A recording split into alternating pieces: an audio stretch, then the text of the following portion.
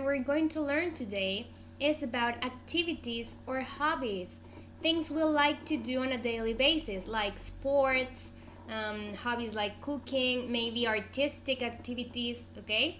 So let's go over the vocabulary. Play baseball. Make arts and crafts. Do karate. Make a meal. Go swimming.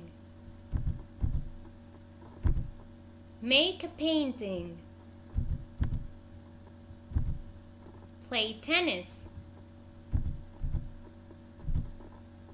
Do yoga. Go horseback riding. Do gymnastics. Go hiking. Play video games. Okay? So, that was the vocabulary. You can see how we use the modal verbs can, make, do, or go. Okay, this is the second grammar topic. Okay, object pronouns. We have our subject pronouns. As you can see, we have I, you, he, she, it, we, and they.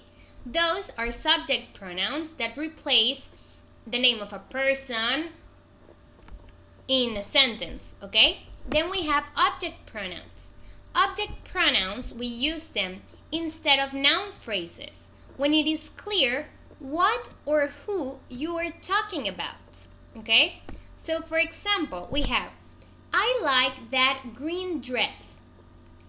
You have your object that is the green dress. So, we're going to replace it. Instead of saying, How much is that green dress? Again, you can replace it with it. Okay? And then we have the second example. There's Tanya.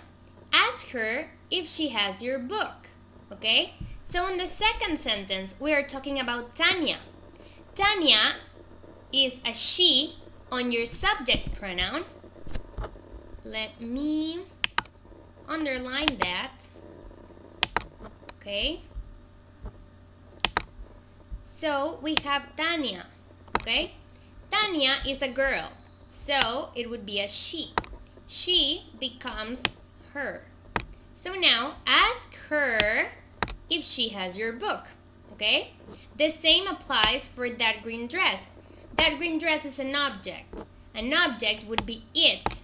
And for object pronouns, it becomes it. It stays the same. Okay?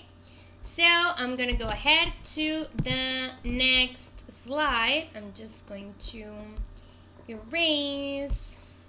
Perfect. Okay, so let's go to the next slide. Okay, examples. I'm just gonna put this over here. We have number one. I sent my father an email. Who are we talking about? That is step number one. Identify the subject right? Identify the subject. Who are we talking about? And then replace it with an object pronoun. In this sentence, who are we talking about? We're talking about my father. Okay? So,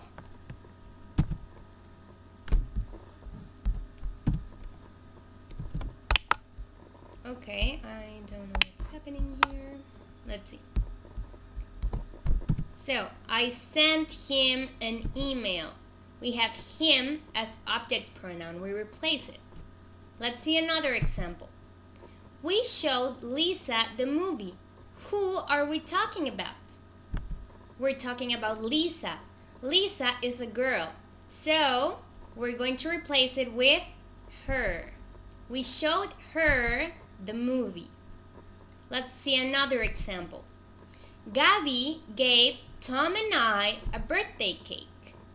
In this sentence, we're talking about Tom and I. even though Gavi can be identified as a subject or as a person, the main sentence revolves around Tom and I. So Tom and I is we. We changes for us. Gavi gave us a birthday cake. And the last example. That basketball belongs to John and Rachel. Who are we talking about? John and Rachel. Therefore, the basketball belongs to them. Okay?